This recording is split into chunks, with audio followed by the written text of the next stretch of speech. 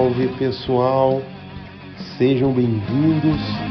Está no ar mais um podcast do Memória Alve Azul, o de número 51. Hoje, nosso convidado é um dos diretores da torcida organizada Os Jecas. Vai nos contar sobre sua trajetória até chegar na torcida e também falar sobre o momento atual do Esporte Clube Taubaté, que sabemos que é lamentável. Natan, o sinistro, senhoras e senhores. Salve Jefferson, feijão. Obrigado aí por fazer esse convite aí. Maior satisfação, hein? Maior rapaziada já participou aí também, da hora. Tá legal aí esse, esse podcast aí. Salve Natan, satisfação. Obrigado por ter aceito o convite em participar aqui do podcast do Memória Alve Azul. E vamos falar um pouco aí Esporte Clube Taubaté, torcida organizada, que a gente gosta um pouquinho. e para começar, Natan, queria que você contasse, já, já chegasse com os dois pés na porta, já contasse a história lá da Javari, mano, na Moca, no Taubaté e Palmeiras B. é, o Taubaté virou o jogo no final, né? E na comemoração ali, naquela alegria ali, você tava descontrolado. e subiu no alambrado, daí o polícia puxou você. O que, que aconteceu? Sobre esse jogo aí, cara, foi um jogo que, puta, a gente era mais, bem mais moleque. A gente foi na caravana, se não me engano, foi junto com a era, era cocheira, né? Foi junto com a Comando, 1914, e nós foi, puta, bebendo vodka, bebendo tudo que podia, de que tivesse álcool, bebendo. E cheguei louco mesmo no, lá em São Paulo lá. É, deu um apagão assim, não lembro de muita coisa não, mano. Mas o, o, engraçado é que eu lembro dessa parte do, do gol, eu só tenho um flash assim na minha cabeça, assim, tipo. De só a hora do gol, assim, eu só pulando assim mesmo, sabe? Tipo uma visão de, de se aproximando mesmo do campo, assim, só essa visão que eu tenho, mano. Deu um pulão na grade, não sei qual que foi a brisa que deu. E daí depois os polícias me puxando, né? Só tem um flash mais ou menos disso aí só. O resto é tem muita coisa que eu não lembro, porque na época eu tava no quartel. Aí os cara os cara falou que teve uma hora que eu sumi do, do estádio lá e depois um pessoal que era amigo nosso lá da, da Javari procurando achou eu e eu disse que eu tava tipo encarando um policial lá, tipo meio que provocando assim na época assim, que tava louco pra caramba de, de vodka, de tudo. Tem muita coisa eu não lembro, só lembro mais ou menos dessa parte só. E tem uns vídeos na internet. Sensacional. Foi, foi, foi foda a situação. Eu lembro, eu tava próximo assim. Foi foda. Eu nunca tinha ouvido a sua, a sua versão, é que você não lembra, mas lembra só de flashes. Mas foi uma situação foda. E Naté, como que começou sua paixão pelo Esporte Clube Taubaté? Como que você conheceu o Esporte Clube Taubaté? Ah, foi foda mesmo, eu não, não lembro, deu um apagão mesmo, deu amnésia e não, não lembro de nada. Mas, mano, é... começou comigo assim que eu que eu torcia para um time grande aí, né? Na... tinha 14 anos, torci para um time grande, era moleque. Que é meio que o normal, assim, que infelizmente que acontece assim com a, com a maioria da, da, da dos torcedores, né? No, primeiro começa com um time grande, meio iludido ali por televisão, depois com, com o caminhar da vida ali, conhece Taubaté, se apaixona e já era. E comigo foi assim também, daí torci para um time grande, daí eu lembro que foi em, eu lembro que foi em 2008, é, eu peguei e eu, peguei, eu acho que eu tava com 15 anos, se eu não me engano. Aí eu peguei e, e gostava de torcida organizada, de ficar vendo vídeo na internet, não sei o que, né, do time que eu torci na época, e ficava viajando, porque naquelas épocas ainda era um pouquinho melhor do que é agora, assim, né? É, as torcidas organizadas, que já deu uma mudada boa.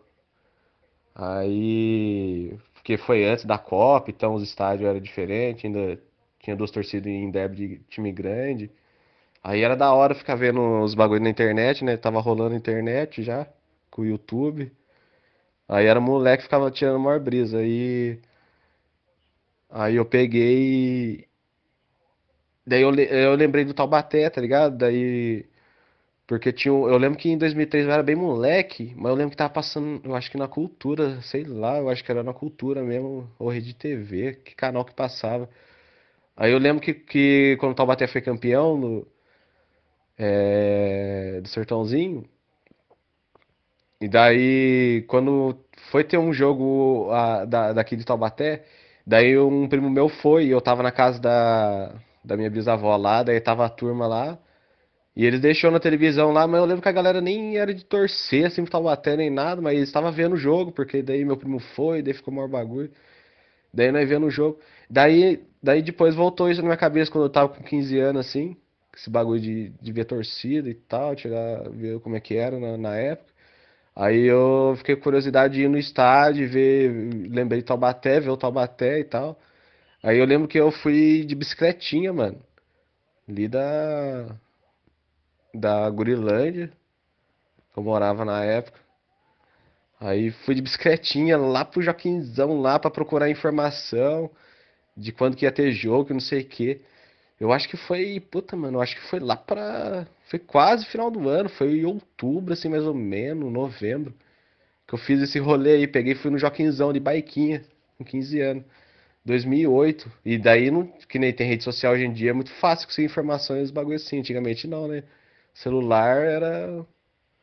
Não tinha facilidade que tem hoje em dia. E não, era igual era hoje, né? Com a internet que todo mundo tem e tudo. Era os bagulho mais na, na raça mesmo. Aí eu peguei e fui, mano. Fui pra, pro Joaquinzão lá. Aí eu.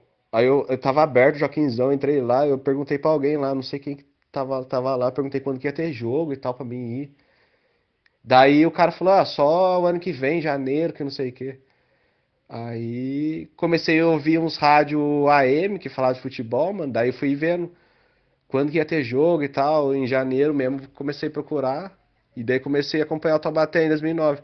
Aí depois que eu fui entender toda a história, que na verdade em 2008 que tinha acontecido a catástrofe lá com o Taubaté, né? Chegou no fundo do poço. E a gente tava começando do zero ali o Taubaté praticamente, né? Com a força da cidade mesmo, em 2009. E daí eu ia nos jogos, mas eu não ia na, na torcida organizada. Mas foi assim, daí cada vez mais fui apaixonando pelo time e, e o time que eu torcia na época lá, nunca mais, desde aquela época então. E como que foi, ô Natan, esses seus primeiros jogos como torcedor do Taubaté? Onde você ficava no estádio? Que você já falou que você não entrou direto na organizada, né? Você, como a gente fala, é povão, né? Você ficava sozinho? Você ia com um parça, com algum parente? Como que era? Mano, eu ia sozinho mesmo. Eu ia de baiquinha, porque era copinha. Eu não, eu não tô lembrado bem, porque eu acho que eu não, não, não tinha um jeito ainda para deixar na sede, que eu nem conhecia nada. Se eu não me engano, até podia entrar de bike, porque era copinha, era suave. E e daí eu ficava mais ou menos ali, depois da primeira curva ali, é, antes ali de chegar na Dragões ali, mais ou menos ali no meio, ali no canto ali, da primeira torre ali. Ficava ali sozinho e tirando maior brisa, vendo como é que era, vendo tudo, vendo o jogo. Aí depois começou a quarta divisão, aí eu continuava ficando ali. E até que depois eu entrei pra, pra torcida organizada e, e comecei a viajar a turma, tudo aí, confiando no Taubaté. E como que foi, mano, para você entrar na torcida organizada? O que que te chamou a atenção para você querer ser membro? A festa da torcida, cantoria ou algum outro motivo? No caso, tinha a Dragões Azul, né? Como que foi para você entrar na Dragões? Então, cara, daí nessa época aí. Eu lembro que eu arrumei um trampinho no, no, numa pastelaria lá no Mercadão lá. Aí trampava lá. Aí isso na, na, na época que tava rolando a quarta divisão ali. Daí o. O Leonildo, até que tá fazendo aniversário aí, parabéns aí. É... Ele trampava também na, na banca lá da, do pai dele lá. E não tinha como não, não, não, não lembrar ele do Joaquinzão, mano, que ele usava um black grandão vermelho, mano, ruivão. Aí eu vi ele no Joaquinzão lá na torcida lá e tal, depois vi ele trampando lá na lá perto, lá dentro do Mercadão lá. Aí eu troquei ideia com ele, mano, e eu perguntei, mano. E aí, como é que faz lá pra entrar na torcida, que não sei o que e tal. Daí lá no Mercadão, daí ele, daí ele falou, não, vamos, vamos lá comigo, não sei o que, você, você faz a carteirinha. Lembro que fazia uma carteirinha lá. Já, na hora já dava carteirinha lá pra gente lá. E eu comprei uma camisa lá do Dragões lá. Aí já era, aí comecei a ir. Aí. Primeiro jogo mesmo na torcida mesmo foi na caravana pra. Pra, pro Moisés Lucarelli lá contra o Red Bull lá. Pode crer, mano. É, se eu não me engano, foi 2010 essa caravana, né? Taubaté 1, Red Bull 1. E qual que foi a sua impressão chegando na torcida? Era o que você imaginava, não era? Você achou os caras cabuloso? Achou uns caras zica? Qual, qual que foi? Você chegando na torcida, molecote, qual que foi a sua, a sua impressão? Ah, mano, foi bem da hora, porque foi a primeira caravana, mano. Daí, tá ligado? Caravana pra, na torcida é, é um dos bagulhos mais da hora. Daí, eu lembro que quem tá ligado aí, quem lembra aí, tá ligado que que era um molecão, era bem suave. Daí fiquei mais no cantão aí, tirando uma brisa, foi da hora. Ter sido caravana. E voltando um pouco no tempo, mano, é, você acompanhou então o acesso do Taubaté da Bezinha para três como povão, né? Você tava nesse jogo? É, se sim, é, como que você viu todo o desenrolar da partida, sua visão ali do, do gol lá aos 54 do segundo tempo? Como que foi? Então, mano, pra você ver como que, como que era meio que diferente. É, nessa época aí, é, tinha aquele negócio de, tipo, falar com a mãe, com a avó, assim, para poder falar que ia no jogo, não sei o quê. Porque tinha medo na época, né? De, ah, torcida, vai ter briga, não sei o quê. Mesmo que não ia na torcida, mas só de falar que ia em jogo. Aí, como eu tava indo em bastante jogo, sempre pedindo, sempre pedindo, toda vez que Taubaté passava de fase, que foi várias fases bem difícil mesmo, né? Teve, quanto Guaçuano. Teve, nossa, foi foda. Daí quando passou, daí quando o jogo era em Taubaté, pedindo pra ir e tal, daí. Ah, é, daí, cê, daí teve uma época lá que. que não, daí começou a querer brecar eu. Daí, porque tava indo em bastante jogo. Aí começou a querer brecar eu. Aí não me deixou ir no jogo, mano. Aí eu lembro que eu vi o jogo da casa da minha avó, mano. Coloquei na, na difusora lá na época lá. Aí, daquele sofrimento, você imagina, né, mano? É, por rádio também. Aí o. Aquela narração épica que teve lá do, do, do último gol lá, o 54, que, puta, pelo rádio parecia que já não ia dar mais, porque daí no rádio você tá ouvindo todas as informações ali, os caras falando que não sei o que, então aí vendo aquele a narração da explosão lá, daquele jeito, puta que pariu, o bagulho foi foda, cara. Foi foda, era moleque, foi foda. Aí marcou mesmo, aí Taubaté marcou mesmo. Porque do jeito que foi, quem, quem viveu aquele acesso lá, mano. Teve a batalha lá de Iguaçuano, foi foda. Aí depois teve esse contra o Palestra também, que foi foda. E todas as fases foi difícil. Foi tudo na, na garra mesmo. Daí foi foda mesmo. Foi. Foi pra. pra marcar mesmo. É, foi foda pra caramba. Essa campanha de 2009 aí é.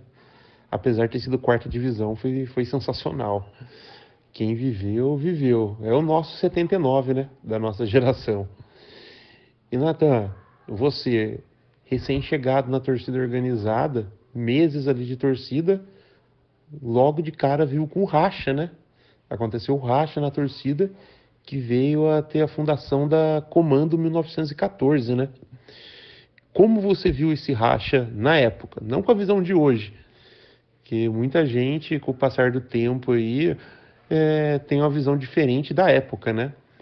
Na época, como você viu esse racha e, e você ficou na, na Dragões, né?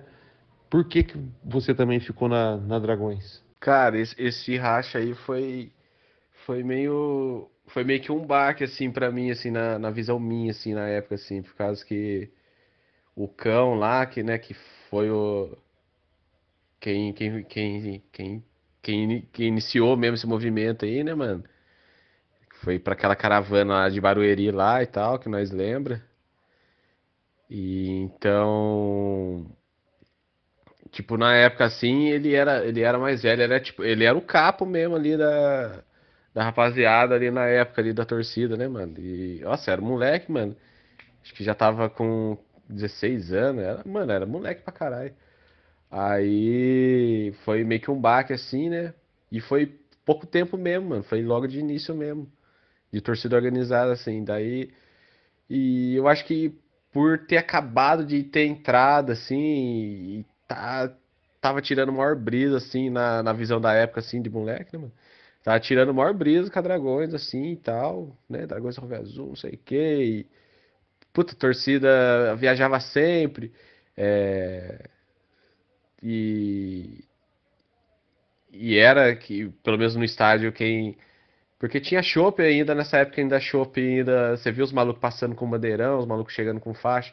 E um, um, uns bondezinhos ainda, né? É, até surda você viu os caras levar. Tava, tava meio que um, uma fase que ainda vi um pouco ainda da chopp lá, ainda os malucos colando e tal. Aí, e a Dragões era quem, quem se mantinha aí mesmo.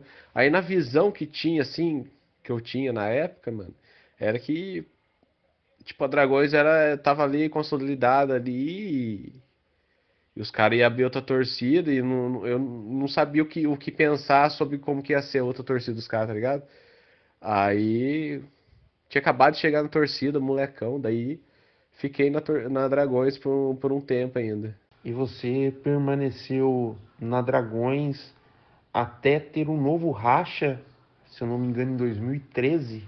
Esse que a gente falou da comando foi ali em meados de 2010, durante a 3 de 2010. E o outro acho que foi em 2013, daí você já, já tinha já uma caminhada na, na Dragões, né? E daí você foi para Cocheira logo no racha ou foi depois a convite? Como que foi a sua ida para para cocheira. É, é, então, daí, daí continuou, né? Daí teve essa fase de comando e, e dragões só, né? Como torcida mesmo, que daí a comando foi, juntou um bonde da hora lá, fazia festa lá também, né, mano? E daí tinha essas duas torcidas, aí teve essa fase, né? E a Chopp já praticamente já quase não ia mesmo, né, mano? Já de vez em quando ou outra era uma faixa, mas muito difícil que você via, mano. Aí rolou rolou essa, essa ideia desse movimento que foi a cocheira, né, mano? Que na verdade, mano, uma galera curtia, tava curtindo, porque a galera tava crescendo, os moleques, né, mano?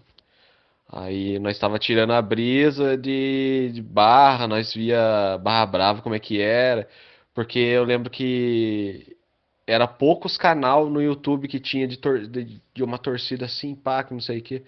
Aí a do Grêmio, eu lembro que foi uma das primeiras, assim, tá ligado, mano? De forte, assim, que tinha. Aí tinha muita visualização, mano. Daí você via Puta, era da hora, você vê o jeito dos caras e começamos a tirar brisa nas torcidas do lado, né, mano? Argentino, não sei o quê. E achava da hora o jeito que eram os movimentos Barra Brava na época. Aí a gente. A gente viu que. Ah, você via a história na época, né, mano? Que tinha. Tinha setor 2 do Juventus e a geral do Grêmio que, que tinha. Se intitulava ali como a primeira barra do Brasil, daí tinha uma brisa do jeito que era o bagulho. Tipo, era uma visão diferente, porque como a gente tava ali na Dragões, aí começamos a crescer, a gente começou a ver algumas coisas, começamos a tirar uma brisa, tá ligado? De puta, um bagulho diferente. Aí, mas quem chamou mesmo, eu. Porque já tava desgastando já uns bagulhos na Dragões, né, mano? Era moleque, e moleque é cheio de energia, já pá, já quer pum. Aí. Desgastando umas paradas lá, daí eu lembro que teve uma caravana que foi pra Oswaldo Cruz, mano. Eu acho que foi foi a, foi foi a Comando e foi a Dragões, foi duas caravanas separadas pra você ver, porque não tinha muita muita conversa, né, mano? Foi duas caravanas meio que separadas, mas foi duas vans, foi uma van de cada. Aí, puta, eu lembro que foi foda, foi uma caravana cansativa pra caralho, mano. De van pra usar do Cruz, longe pra caralho, calor pra caralho. E viajar sempre sem dinheiro, sem porra nenhuma, daquele jeitão, mano. Só pra ver o Taubaté. Daí, moleque, mano. Daí. Eu lembro que na volta tinha uns moleque lá, daí o bagulho, puta, foi deselegante pra caramba na volta. E, puta, pra mim não foi da hora, tá ligado, mano? Aí já tava desgastando, eu, se eu não me engano, já tava acabando o campeonato nessa mão aí desse jogo, tá ligado? Aí depois teve uma mão que veio o Guto trocar ideia comigo, tá ligado? Que ele, que ele, o, o Gu, o Guzão lá, é o, o China. O China não, eu nem conheci o China. Só vi ele no estádio, parece que no Orkut também lá, o perfil dele, não sei o que. Os caras falaram, tem aquele maluco lá que não sei o que. Puta, tá querendo fazer outra torcida. Aí nessa mão tinha o Bob já na Dragões também. Aí o Bob já ia fechar também, pá. tinha os outros malucos do Secap que já sabia que. Aí já tava tipo uma galera, mano. Daí. Não, demorou então, isso mesmo, já, tá ligado? Porque já não tava da hora já, mano. E aí com essa ideia de, de Barra Brava, mano, foi da hora, porque, mano, era uma, uma época lá que nós estava muito com a cabeça muito bagulho. Ah, mano, bagulho de. de energia para lutar mesmo, né, mano? E. E o movimento da cocheira lá, o bagulho não tinha. Era, era uma fase que nós não, não tinha ninguém, não tinha assim, presidente, não tinha nada, tá ligado, mano? Era todo mundo, todo mundo conversava, todo mundo falava, todo mundo tinha voz, não tinha é, uma hierarquia nenhuma, entendeu, mano? Era um bagulho. E era os moleque revoltado, mano. Juntou os moleque bom revoltado e, e fez a cocheira.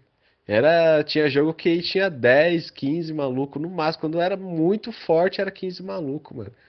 Mas era 10 maluco ali, 12, 8, tá ligado? O jogo. Nós passava sinalizador lá na, no, por baixo do portão, entrava com fumaça, escondido da polícia. Até cachaça os caras entravam. Era uns moleque louco mesmo. Era, foi uma brisa que essa aí, mano, que. Daí que isso foi da hora, tá ligado, mano? Que. Puta, daí começava a tirar brisa de, de movimento de torcida de outros países, assim, tá ligado, mano? Aí. Era da hora, foi um movimento da hora, mano. Foi bem da hora mesmo essa, essa fita aí da cocheira aí, mano. E quando que você vai para Curitiba, Natan? Que tem um período que você fica fora de Taubaté, né?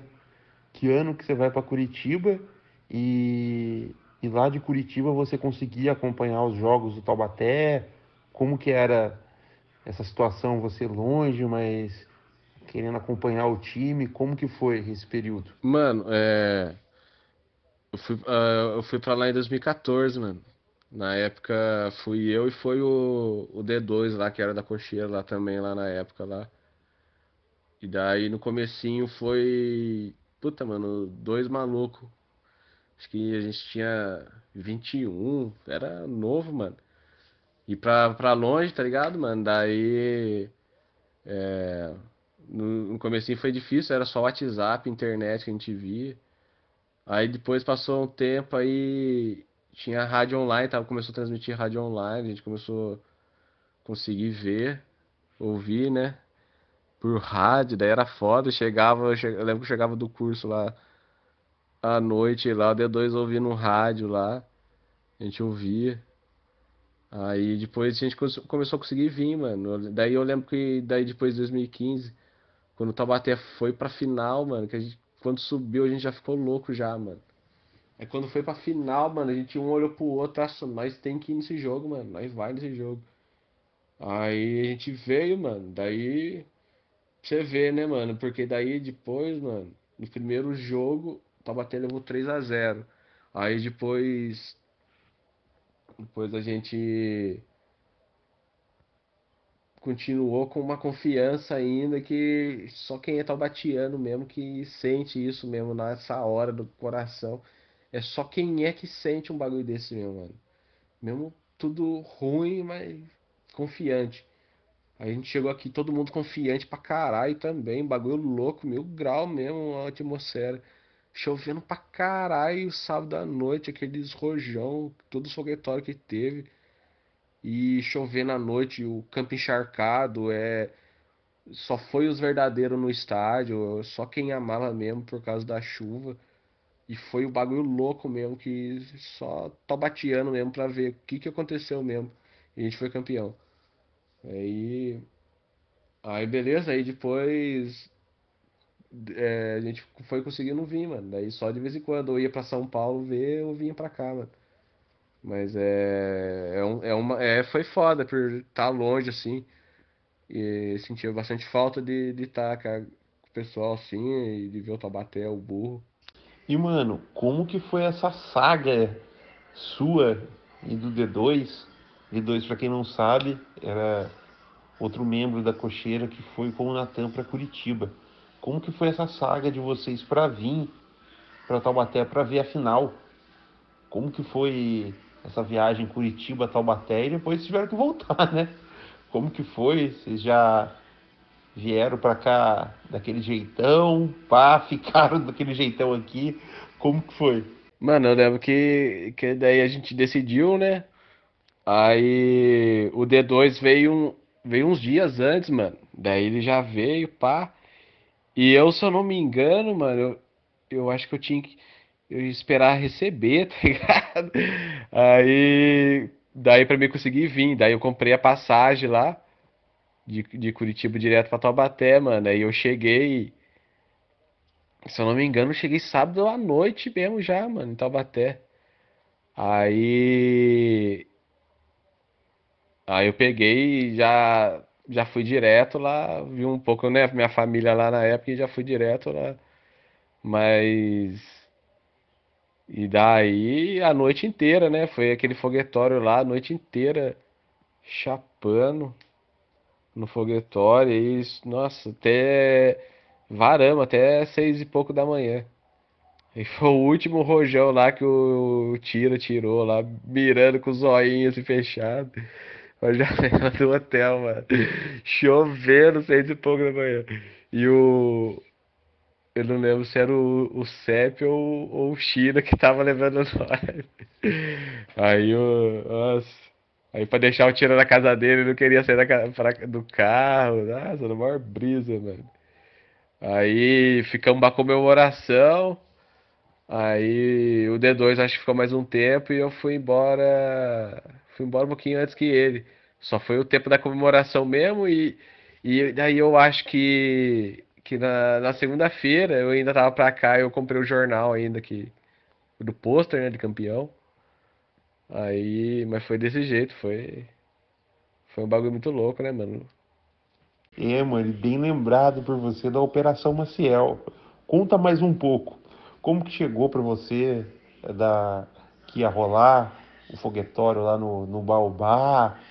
Com, com, você já, já falou um pouquinho, mas conta mais, se aprofunda aí na Operação Maciel, que ela foi foda, mano. Vou, foi foda. Metade daquela taça de 2015 é nossa. Ah, mano, foi da hora. Eu, tipo, nem, nem sabia de nada, tá ligado, mano? Porque eu lembro que eu vim, mano. Aí comecei a mandar mensagem pros caras, né, pra ver onde que ia se trombar, o que ia acontecer, porque já tinha na cabeça já que não tinha nem como dormir, né, mano? Do sábado pro domingo não tinha nem como dormir. Aí eu cheguei, daí os caras deu salve, não, vamos tomar uma lá. Eu acho que era aquele. Tava naquele SOS, né, mano? Era, foi um. um bar que teve lá perto da Santa Terezinha lá. Aí só que tava chovendo pra caralho, daí fomos lá, daí os caras começaram a falar que ia soltar rojão. Aí que os caras, que né, que, que a comanda também ia, tava todo mundo. Aí tava vindo mais uns amigos de São Paulo, veio de Osasco, veio da turma do Juventus lá, que era na época, veio. Aí. Ah. Tava a milhão, né? Tava uma atmosfera monstra, mano. O bagulho tava a milhão mesmo, chovendo. Taubaté tinha tomado três no coco, mas tava todo mundo confiante no bagulho. Todo mundo tava confiante. Aí. Aí.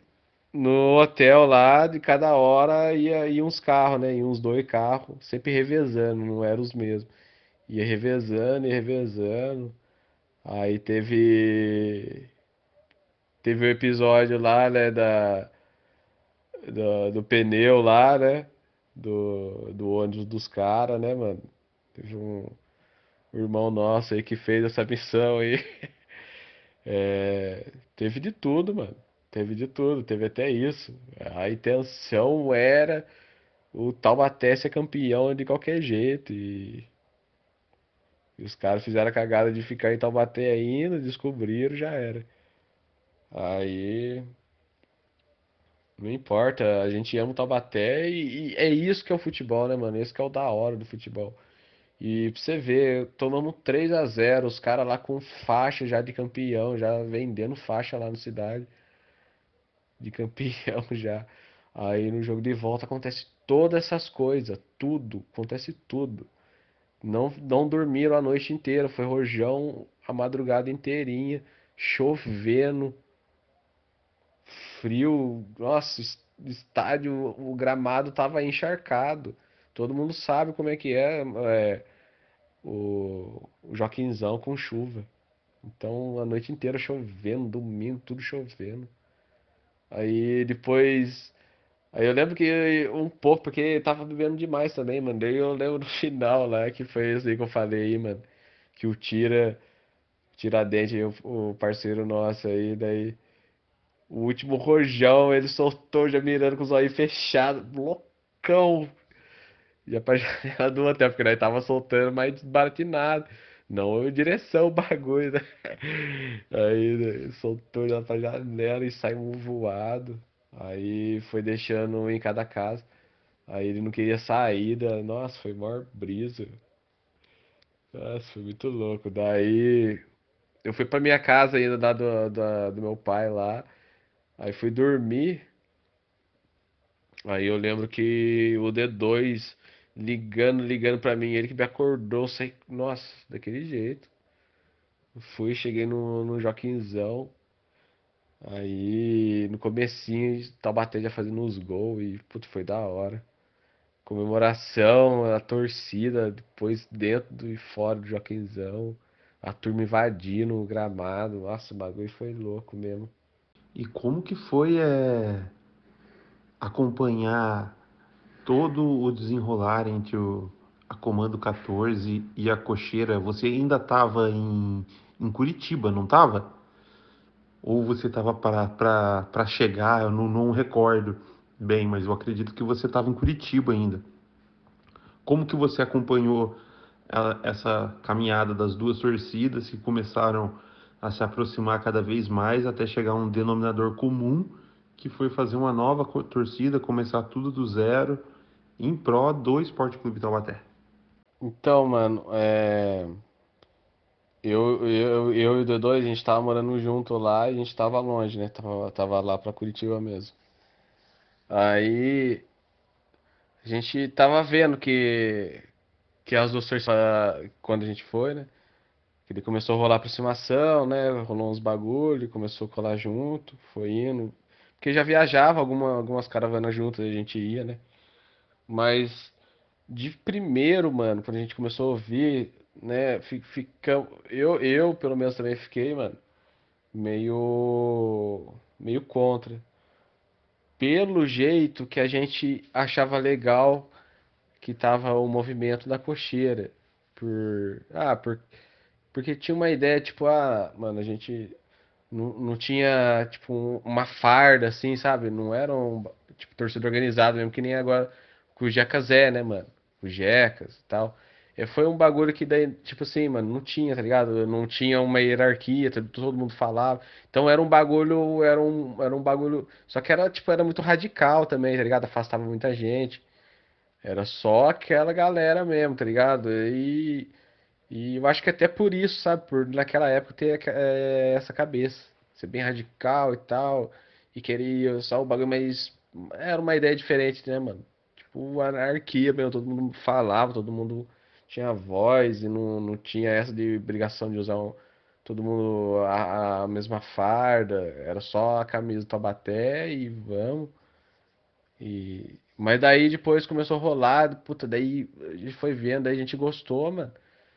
Aí o Jackas já ficou bem grande, né, mano? Quando nasceu e formou mesmo, daí as duas torcidas e parece que veio mais gente.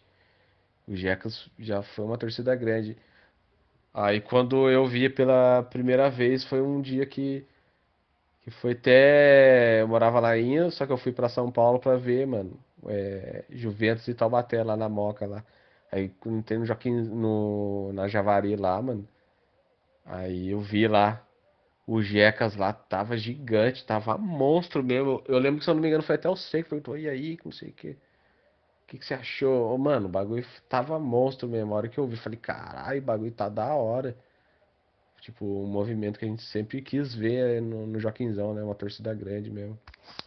Sim, mano.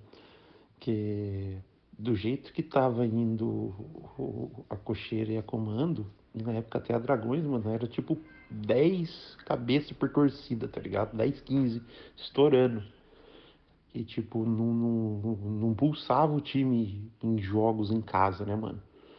É, o próprio jogador chegou a falar que quando eles jogavam fora, eles sentiam mais o apoio da torcida, porque a gente juntava e em casa não. E daí qualquer torcida que vinha de fora, mano, os caras eram a voz do Joaquinzão, mano. Porque nós ficava três grupinhos cantando, e nós começamos a ver isso, né? E começamos a ver uma forma aí de de beneficiar o Esporte Clube Taubaté, né? Sem ego, sem porra nenhuma, e foi. A princípio, muita gente foi contra também. Quando começaram as primeiras conversas, eu também era meio contra. Que a Comando já tinha, acho que, sete anos, tá ligado? Já tinha uma história legal e tal. Só que a gente também não conseguia crescer, entendeu? Era sempre as mesmas pessoas. E muito por, acho que é culpa nossa mesmo. A gente não era tão radical quanto a cocheira, mas a gente não, não conseguia agregar. E aí a gente vai ficando mais maduro, né? Com o Jacas a gente foi ficando maturando mais as ideias e vendo que né, não, não precisa ser 8 ou 80, né, mano? Em algumas situações sim, mas muita coisa não, né? E daí a torcida já, falou, já cresceu grande e tal, e segue aí na caminhada. E eu lembro desse jogo de você na Javari, foi eu mesmo que falei com você. Ei, Natan, caralho, não sei o quê. Pá. Aí você falou, mano, tá muito louco, não sei o quê. E daí, Nathan, quando que você volta para Taubaté? O ano que você volta, aí você volta já começa a colar de vez mesmo e tal. E quando que foi? Ah, mano, daí eu voltei em final de 2018, era quase 2019. Daí Aí que eu voltei, porque até antes de voltar já tinha vindo, depois desse jogo aí, vi outros jogos com. Que daí já era o Jecas já, a galera toda aí, que já tava. Aí fui uma vez ver, ver lá em Diadema, né? O, aquele jogo lá contra o São Bernardo. O, depois teve uma mão que eu vim também e fui na caravana com a portuguesa, fui na caravana mesmo montando lá, daí aí pegou, aí quando eu voltei mesmo no praticamente 2019 ali, daí já já tava meio que enturmado já, o Jecas mesmo todo mundo e mais todo mundo que é da antiga aí.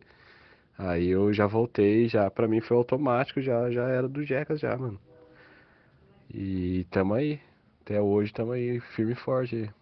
É isso aí segue firme e forte na diretoria da torcida, né? A gente vem procurando fazer um bom trabalho aí. A torcida está sempre crescendo, sempre apoiando o clube. Às vezes a gente tem umas dificuldades ou outra, né? Mas sempre em busca do melhor. E voltando a falar do Esporte Clube Taubaté, né, até os últimos anos aí tem sido lamentáveis, né? Trágico para o clube, né? Em tudo, em resultado, tudo, né? Tudo, tudo um, um lixo. É... O que, que você tem a dizer aí sobre esses últimos anos e sobre o futuro, né? O que você espera do futuro do Esporte Clube Taubaté, ano que vem com a volta do clássico? É... Dá pra gente, dá pro torcedor ter esperança ou tá, tá foda, tá foda mesmo? O que, que você acha? Então, mano, eu, eu na minha visão assim, é, eu acho que tá foda mesmo. Mas, puta, cara, é foda. É, os três últimos anos aí a gente, a gente quase caiu, né? Foi três, três times de para cair para série para série A3 já. Então é foda, isso é foda. É, a gente jogou uma Copa Paulista, né? Nesses, fora esses dois últimos anos aí, né? Esse ano que a gente tá e 2022 que a gente não jogou a Copa Paulista, então já tá foda. O time praticamente jogando dois meses e meio no ano é inadmissível. E agora, e a Copa Paulista que a gente jogou, as últimas que a gente conseguiu jogar, é, foi horrível também o retrospecto assim para nossa camisa. É isso que tá mais assim acabando com a gente assim, com o nosso nosso que a gente que a gente ama o Taubaté. É, o retrospecto tá foda, não tá dando para engolir. É isso que não tá dando para engolir. É time sem garra, time sem vontade de chegar em algum lugar, de, de alguma coisa. Parece que é, é só sempre um catacata de jogador um técnico e um gerente de futebol é, é, esperto, né, para ganhar dinheiro, é, um, um técnico que vem falando algumas coisas, teve técnico experiente, mas às vezes parece que os caras não conseguem nem agir dentro da situação que está sendo feita assim o, toda a montagem pela diretoria, né? Mesmo o técnico assim. E teve time de medalhão, teve time com dinheiro, teve tudo, teve time sem dinheiro, esse ano agora que deu mais medo, mesmo assim conseguimos se livrar. Então tá tendo de tudo, diretoria é, praticamente é a mesma desses últimos anos todos.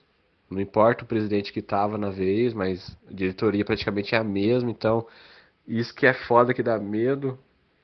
E eles vão continuar ainda. E dá a impressão que não importa, que o Taubaté está 40 anos já praticamente tentando chegar na primeira divisão e, e os caras deixando o time jogar dois meses e meio só por ano.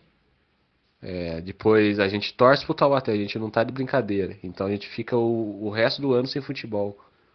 A gente não é que nem muitos deles lá que torce para um time grande. A gente não torce para time grande. Então é complicado para o torcedor que é um Taubaté mesmo, tá difícil. E o São José lá, eles deram uma animada, eles estavam bem fraco o movimento deles lá, agora deu uma animada aí esse ano aí, com o jeito que foi a campanha deles lá e dinheiro entrando de todos os lados, né? Então, a turminha de lá tá animada, então e nós estamos aqui, o nosso estádio tá feio, a situação pra caramba, só tá piorando. Diretoria novamente não está fazendo nada, tem um projeto aí fazer, mas para agora não tem nada, tá horrível. É, e a gente, gente, puta, a gente já não aguenta mais isso. É, Campeonato Paulista Primeira Divisão vai ser o quê? Vai ser quantas rodadas? 15, 16 rodadas no máximo, sei lá. É, pouco tempo aí e, e times só de alto nível. Primeira divisão do Paulista agora tá difícil. Então, mesmo que a gente conseguir 40 anos para conseguir um objetivo, chegar, olha, olha o que, que a gente está conseguindo chegar agora, porque mudou completamente o Campeonato Paulista. Não, diminuiu os times, o, o nível está muito alto, o dinheiro está muito alto. E, puta, cara, custa dar um valor para uma Copa Paulista para a gente chegar no Campeonato Brasileiro, para a gente estar tá no cenário nacional, jogando o ano inteiro e levando a camisa do Taubaté para outros estados aí, né? É isso que que tá difícil. Então, é só a gente vendo mesmo o que, que vai acontecer para ano que vem. É... E vamos fazer a nossa parte, mas. E tá difícil. É só vendo para crer mesmo o que, que vai acontecer. E clássico. Faz muito tempo que não tem clássico. Muita gente vai no estádio. Vai... Então o estádio tá daquele jeito. A gente tem que ver como que vai ser esse clássico aí. É, mano, tá foda mesmo. Tem aí projeto megalomaníaco e pro presente nada, né? O projeto a longo prazo é legal pensar a longo prazo, mas o presente não tem nada, né? A arquibancada lá, fudida, gramado uma bosta, os caras do próprio clube ficam usando o estádio para fazer racha pessoal, particular. Velho, é foda, mano. Tá foda mesmo. A gente como torcida, né? O GR, a gente sempre tá em cima aí cobrando. É, mas tá foda, cara. Tá foda mesmo.